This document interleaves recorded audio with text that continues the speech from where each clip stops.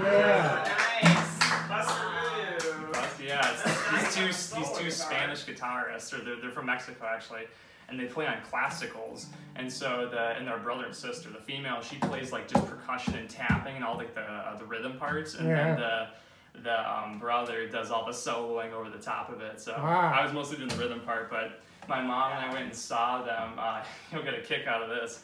So he was, um, so the, the guy who's soloing, like the, the girl was, she was playing that song and kind of rocking out, and then he goes and he grabs his beer and he goes takes a sip of his beer, and then he puts the neck of the bottle up on his guitar and he starts playing slide guitar with a, a half full beer in his Oh hand and my he's playing slide guitar with this beer and he's soloing. It was incredible. And he it was, still has beer in it. and it Yeah. still had beer Yeah. in it too, which was I've never seen that before. So